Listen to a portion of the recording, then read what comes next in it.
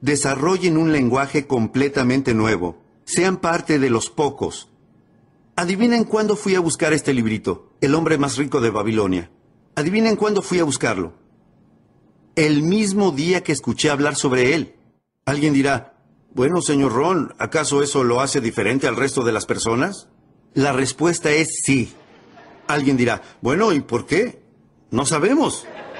¿Quién sabe? Ustedes no saben, yo no sé, nadie sabe. Lo único que sabemos es que algunos tienen la inteligencia para decir, voy a cambiar mi vida, voy a cambiar mi salud, voy a cambiar la relación con mi familia, voy a cambiarlo todo.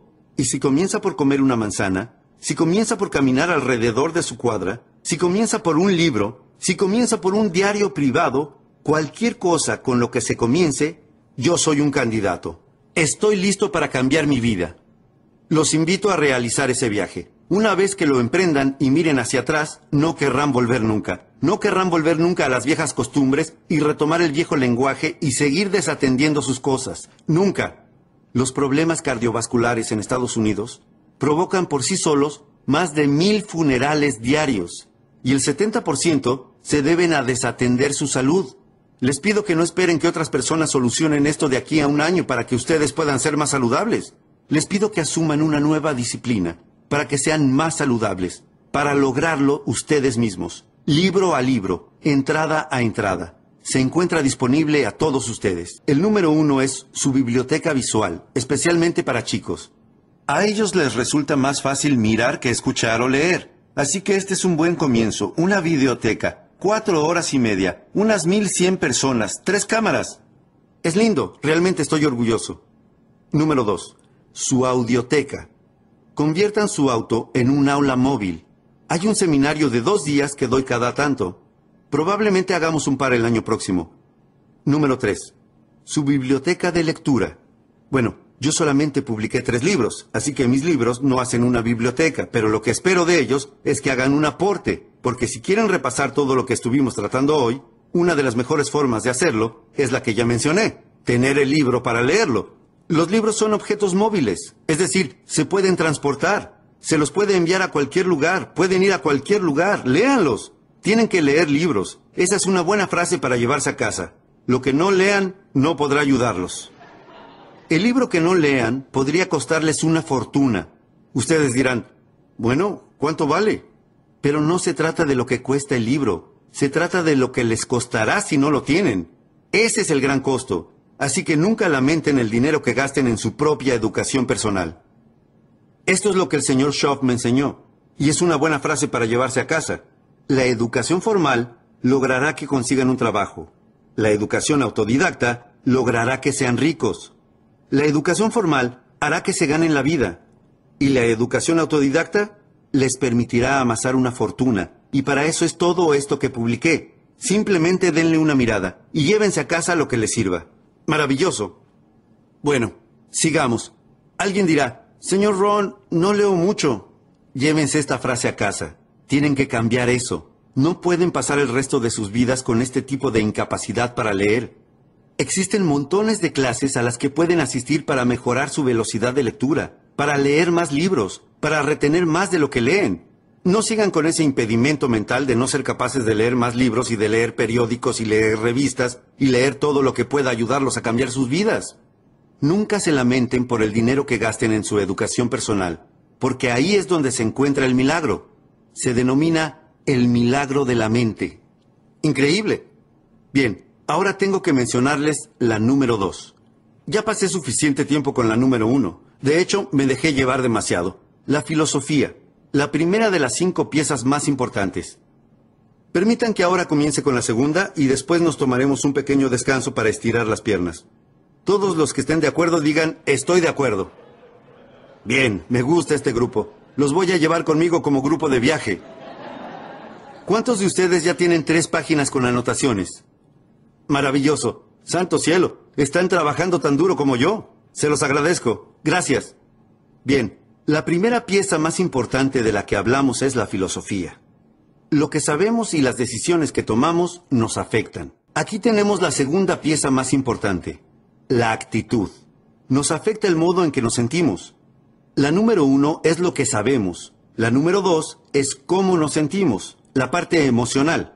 Ahora bien, para generar un cambio de vida, no empezamos por la parte emocional, no empezamos por la motivación de cambiarle la vida a las personas. Conozco algunas personas que dicen, bueno, señor Ron, yo esperaba mucha motivación. Deberíamos estar parados sobre sillas agitando banderas. No. No, eso no servirá de nada. Algunas personas dicen, solo hay que motivar a este tipo. Va a estar bien. Solo hay que animarlo, motivarlo. Bueno, probablemente no. Si el tipo es un idiota y se lo motiva, tendremos un idiota motivado. Se los aseguro, no va a ser suficiente. Una frase clave para sus notas. El cambio de vida no comienza con la inspiración. El cambio de vida no comienza con la inspiración. El cambio de vida comienza con la educación. Cuando conocí a mi maestro, él no me inspiró. Lo primero que hizo cuando me conoció fue averiguar lo que estaba mal. ¿Y cómo fue la primera parte de su entrenamiento? Simple. Era un desastre. Monedas en el bolsillo después de seis años. Algo estaba mal. Ahora bien, no hay que mudarse a otro país. Y no hay que esperar las próximas elecciones. Si se tiene la voluntad de comenzar a hacer algo para cambiar, se puede cambiar todo. Entonces, ¿cuál fue la primera parte de su entrenamiento? Usted es un desastre. Pero él no me abandonó allí. Me dijo, aquí tenemos la segunda parte de su entrenamiento. ¿Cómo hacer para cambiar, si le interesa? A algunas personas no les interesa. Lo entiendo, pero asumo que la mayoría de esas personas no están aquí.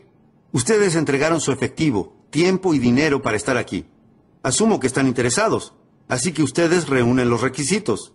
Para los que están interesados, les digo, pueden cambiar por completo los próximos seis años de sus vidas si están interesados en hacerlo.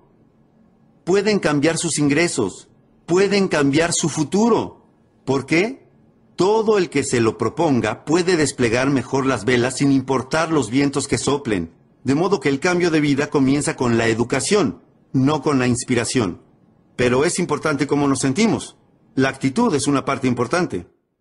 Permítanme darles la pequeña lista antes de que nos vayamos al descanso.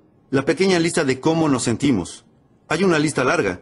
En nuestro fin de semana de liderazgo la tratamos en su totalidad. ¿Cómo nos sentimos en relación al gobierno? ¿Cómo nos sentimos en relación a los impuestos? Schoff me lo enseñó bien a los 25 años me enseñó cómo convertirme en un contribuyente feliz. Yo solía decir, odio pagar mis impuestos. Schoff me decía, bueno, esa es una forma de vivir. Yo pensaba, bueno, ¿no le pase eso a todo el mundo? Él me respondía, no, unos pocos hemos ido un poco más lejos. Yo solía decir, odio pagar mis cuentas. Y Schoff me respondía, ¿odia disminuir sus responsabilidades e incrementar sus activos? Yo le respondía, bueno, es una forma distinta de verlo. Él siempre me hacía ver las cosas de una manera completamente diferente. Yo decía, cuesta demasiado. Shaw respondía, no, enfrentemos el problema real, señor Ron. Usted no puede pagarlo. Y yo pensé, ¡epa! Nunca lo había visto de ese modo. Siempre pensé que ese era el problema. Shaw me dijo, no, señor Ron, usted es el problema. Cuando le di la lista de excusas de por qué me había ido mal, la miró y me dijo, Señor Ron, hay un gran problema con esta lista. Usted no forma parte de ella. Vamos a agregarlo ahora en la lista. Despleguemos las velas de una mejor manera. No estén siempre deseando que soplen vientos a favor. Quizás la próxima vez, cuando los republicanos estén en el gobierno. No pospongan sus vidas de ese modo. Cómprense libros nuevos, consigan información nueva, comiencen a escuchar los cassettes, escuchen una voz valiosa y fíjense si pueden rescatar algunas ideas para comenzar con el cambio de inmediato. Y los próximos seis años podrán resultar un milagro, como me sucedió a mí en esos seis años. Bien, pero la actitud es importante. Aquí tengo la pequeña lista sobre cómo nos sentimos. Número uno, cómo nos sentimos en relación al pasado. Hay que tener una actitud positiva y saludable en relación al pasado, y este es el mejor consejo que puedo darles. Consideren el pasado como una escuela. Dejen que el pasado les enseñe. Puede que sea una escuela rigurosa, dura. ¿Cuál es la novedad? Todos hemos pasado cosas duras, algunas más duras que otras. Lo entiendo. Por eso quiero que usen su pasado como un maestro de escuela, como forma de educación. No dejen que el pasado les gane. No lo lleven como una carga. No dejen que el pasado se convierta en un garrote con el que se golpeen en la cabeza por los errores del pasado, las culpas del pasado, los fracasos del pasado. Schoff me dijo, Señor Ron, durante los últimos seis años, usted cometió muchos errores. Use esos errores como escuela para que le enseñen cómo solucionarlos. Entonces, esa es la actitud con respecto al pasado. Mirar hacia atrás. ¿Para qué? Para que sirva de experiencia uno de los milagros que los humanos pueden hacer. Los perros no pueden hacerlo, los cocodrilos no pueden hacerlo, las arañas tampoco, pero los humanos pueden mirar hacia el pasado y encontrar algo muy valioso llamado experiencia. Ahora, número dos. Se trata de cómo nos sentimos en relación al futuro. Al futuro se lo denomina promesa. Veamos lo que aprendemos en el fin de semana de liderazgo. La promesa del futuro es una fuerza asombrosa. Por eso trato de llegar al futuro, trato de realizar ese milagro para ayudar a que los chicos vean qué? La promesa. Para ayudar a que los chicos vean la promesa utilizando las mejores palabras que puedo, la mejor parte de mi corazón y mi alma, para conseguir que ellos vean que es posible volverse independientes financieramente y saludables y poderosos y únicos y sofisticados y cultos y refinados e influyentes. ¡Qué promesa! Padres, tenemos que ser mejores a la hora de ayudar a que nuestros hijos vean la promesa del futuro y el motivo es este. Por cada promesa existe un precio. Agreguen eso. Por cada promesa existe un precio a pagar. Pero eso es lo emocionante. Si la promesa es clara, pagar el precio es fácil. Pero si la promesa no es clara, pagar el precio suele ser muy difícil. Si hacemos que nuestros hijos puedan verla, les aseguro que pagarán el precio pagarán su disciplina, irán a buscar este librito que pueden ver, pero ahí está el desafío.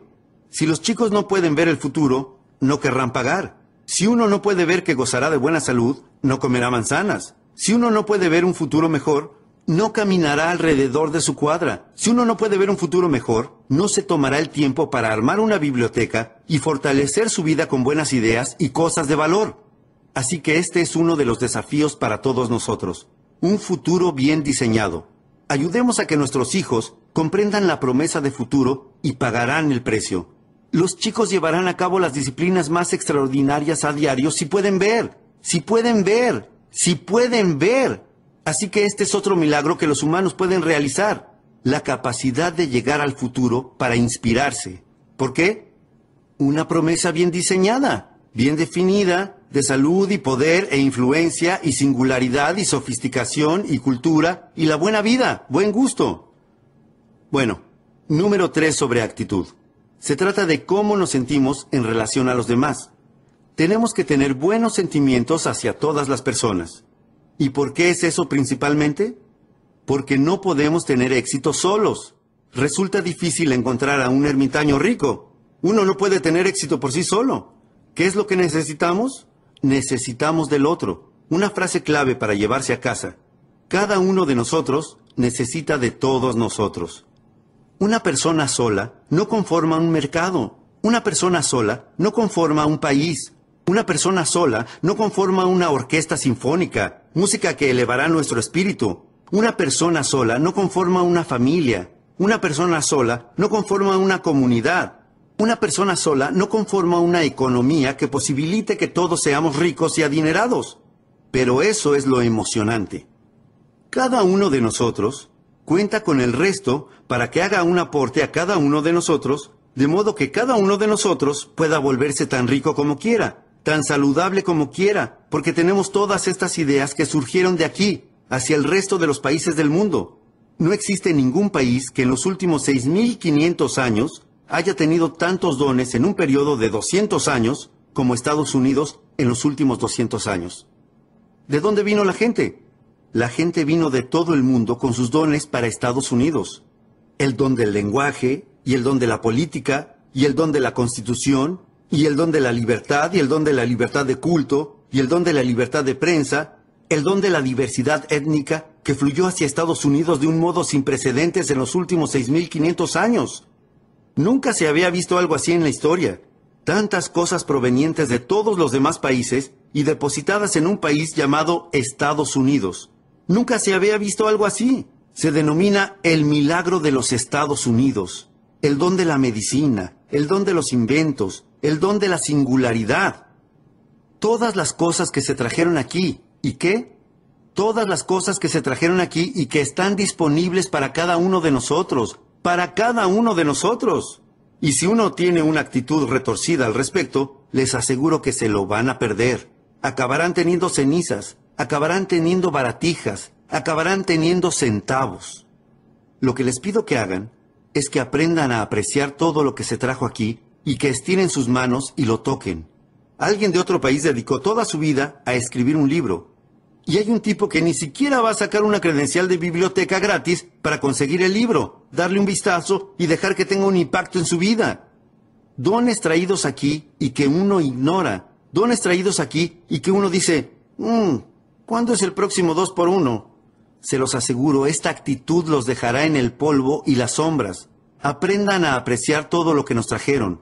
Dones traídos a Estados Unidos, sin precedentes, y nuestra actitud al respecto ayuda en gran medida a cambiar nuestras vidas y nuestras estructuras de vida, patrimonios para el futuro.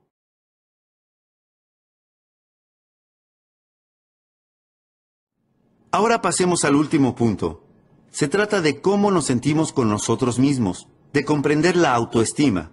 Ese es el verdadero desafío. Una vez que comiencen a comprender su propia autoestima, les aseguro que sus vidas comenzarán a remontar vuelo. Podrán salir de la oscuridad y adentrarse en la luz. Podrán abandonar la congoja y tener confianza, comprender su propia autoestima. Esta es una buena frase para llevarse a casa. Cada uno de nosotros debe comprender lo valiosos que somos todos, pero existe una contrapartida. Todos debemos comprender lo valiosos que somos cada uno de nosotros. ¿Sus aportes son valiosos para todos? Les aseguro que sin ustedes, el todo no está completo. Les aseguro que se requiere de cada uno de nosotros para conformar el todos nosotros, cada uno de nosotros con su aporte. Piensen en lo poderosos que podemos ser si cada uno de nosotros hace un mejor aporte. De hecho, John Kennedy lo dijo a la perfección. Seguramente sea el grito del nuevo Partido Demócrata. Las viejas palabras de John Kennedy, y lo que dijo fue, pidan todo y vean con qué se quedan. No, no, no. ¿Qué dijo John Kennedy? No preguntes qué puede hacer tu país por ti. Pregunta qué cosa. ¿Qué puedes hacer tú por tu país? Les pido que se consideren lo suficientemente valiosos para hacer un aporte importante a todos nosotros. Ustedes hacen un aporte importante a todos nosotros. Y a cambio obtienen los aportes de todos nosotros y los dones que cada uno trae. Eso es poderoso. Y si uno hoy se va de aquí con esa actitud nueva y perfeccionada, les aseguro que podrá lograr lo que quiera. Podrá tener la salud que quiera, podrá tener los ingresos que quiera, podrá tener el futuro que quiera. La relación con sus familias comenzará a mejorar de inmediato. Lo único que deben hacer es tomarlo seriamente y no desatender las cosas, como comer una manzana al día, no desatender las cosas, como comprar un nuevo libro para su nueva biblioteca, no desatender una nueva entrada en su diario, no desatender las cosas. No sean perezosos para aprender. El aprendizaje es el comienzo de la riqueza. El aprendizaje es el comienzo de la salud. El aprendizaje es el comienzo del éxtasis y la dicha y los placeres y un buen estilo de vida y todos los tesoros disponibles para la familia humana. Les pido que hoy inicien un proceso completamente nuevo. Estarán felices de hacerlo sus vidas cambiarán increíblemente. Y les diré lo que quiero a cambio, a modo de favor de parte de ustedes. Pónganme al tanto. Me gustaría recibir sus cartas. No podrán creer las cartas que tengo archivadas de parte de adolescentes y ejecutivos de todo el mundo. Algunas de ellas tuve que hacerlas traducir desde otros idiomas pertenecientes a lugares donde doy seminarios como este. Quiero que eso sea parte de sus historias y sus experiencias. Por eso vine a realizar este tipo de inversión. No necesito trabajar tan duro, salvo por eso. Podría estar viajando en mi motocicleta por los caminos, ¿verdad? No necesito trabajar tan duro, pero sí necesito este tipo de experiencias porque quiero tener lo que recibo a cambio. Quiero que esto tenga un efecto sobre sus cuentas bancarias. Les pido que no se limiten a tomar notas. Si van a sus casas y trabajan sobre estos temas, les aseguro que les cambiará la vida y el futuro. Y es por eso que estoy aquí. Quiero que eso les pase igual que me pasó a mí. Muy bien, terminemos con el punto 2 sobre actitud. ¿Qué es lo que da forma a nuestra actitud? Recapitulemos. ¿Qué es lo que da forma a nuestra actitud? Bien, hablamos sobre cómo nos sentimos con respecto al pasado, el futuro, cómo nos sentimos en relación a los demás y cómo nos sentimos con nosotros mismos.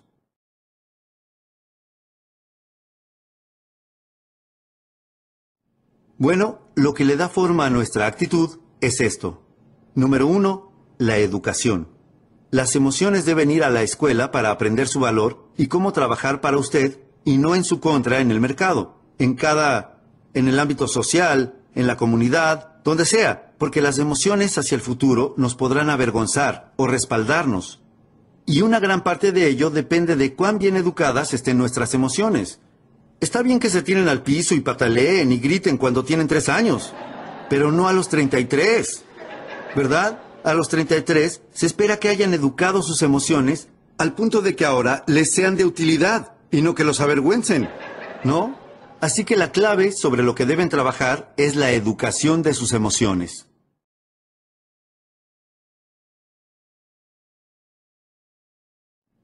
Ahora, número 2.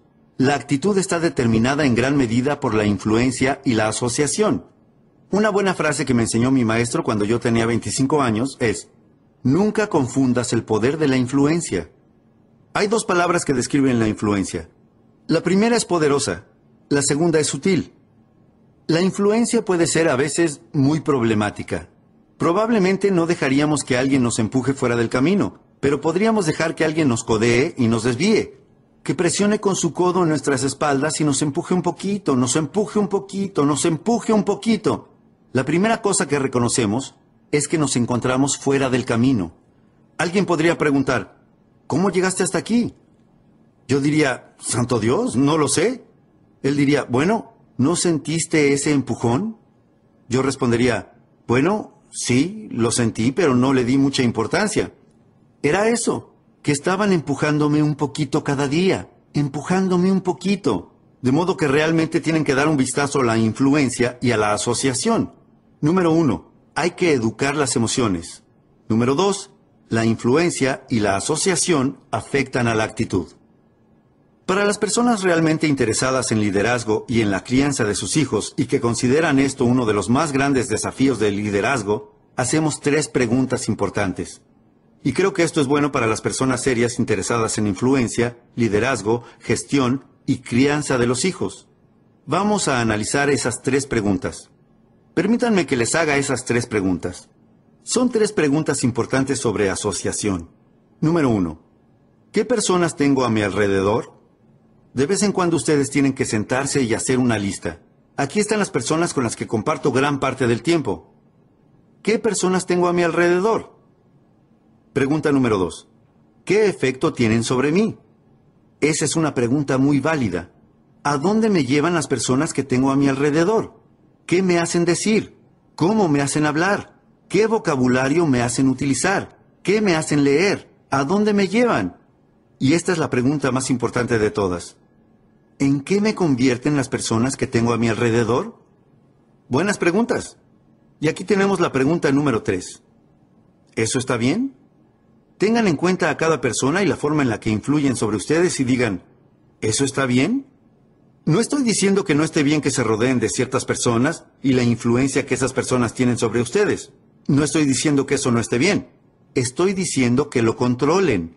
En un periodo de cinco o seis años, eso se vuelve sutil y pueden encontrarse fuera de curso, en el ámbito de la salud, en el ámbito personal, de negocios, de familia, de emprendimientos, de las relaciones, en el ámbito corporativo. No importa. La influencia es poderosa y sutil. ¿Qué personas tengo a mi alrededor? ¿Qué efecto tienen sobre mí? ¿Eso está bien? Aquí tenemos las respuestas en lo que se refiere a asociación. Para los que están interesados en un enfoque maduro de la vida, en desarrollar el poder de la influencia, aquí va el número uno. Disociar. Les voy a pedir que evalúen algunas asociaciones y puede ser que lleguen a esta conclusión. Disociar. No les pido que lo hagan rápidamente, no les pido que los hagan superficialmente, pero si se deciden y tienen que hacerlo, consideren esto. Disocien, aléjense. Nancy tenía razón. Simplemente digan que no. Les aseguro que tenía razón. Pongan cierta distancia. Eso es lo que resulta de decir que no. Pongan cierta distancia entre ustedes y la mala influencia. Y si quieren ser amables, digan, no gracias. Si no es necesario que sean amables, solo digan que no. Conozco a muchas personas que en la actualidad dicen que sí. La palabra sí es una gran palabra. Tienen que decir que sí, pero tienen que decir que no. Si no dicen que no, les aseguro que les estropeará la salud, les estropeará el futuro, les estropeará sus posibilidades de emprendimientos, ganancias, patrimonios. Tienen que aprender a decir que no, en especial a las malas influencias, a las malas asociaciones. Así que ese es el número uno, disociar. En segundo lugar, asociación limitada. Estamos rodeados de una gran diversidad de personas en el ámbito de trabajo, en el ámbito social, en el ámbito escolar. A todos nos sucede, pero aquí está la clave. Con algunas personas solo podemos compartir algunos minutos, pero no algunas horas, ¿verdad? Con algunas personas solo podemos compartir algunas horas, pero no algunos días. Así que perfeccionen un análisis de sus propias asociaciones e influencias y pregúntense, ¿cuánto tiempo sería beneficioso y luego de ese tiempo ya no? Asociación limitada. En tercer lugar, asociación expandida. Encuentren personas valiosas y vean si pueden pasar más tiempo con ellas. Una forma de hacerlo podría ser asistiendo a seminarios como este, oyendo a la iglesia más seguido, lo que sea. Rodéense de las personas que tienen algo valioso para compartir con ustedes y vean si pueden pasar más tiempo con ellas y dejen que la mejor influencia ayude a moldear su actitud y su futuro. Algunas formas de influencia tienen que provenir quizás de un libro o un cassette. Por eso es que grabamos esta información en cassettes y la publicamos en libros y videos para permitir que la asociación y la influencia sobre la que conversamos en nuestros seminarios en vivo sigan vigentes y puedan continuar presentes a través de otros medios. Personas que fallecieron hace mucho tiempo, si dejaron un libro, si dejaron un cassette, si dejaron algunos escritos, si dejaron algo que ustedes puedan leer o estudiar o ver, bueno, qué valiosa sería esa clase de influencia. Bueno, eso es lo que le da forma a nuestra actitud. Con esto, abarcamos las primeras dos piezas de las cinco más importantes. La número uno era la filosofía. Lo que sabemos nos afecta. La número dos era la actitud. El modo en que nos sentimos nos afecta.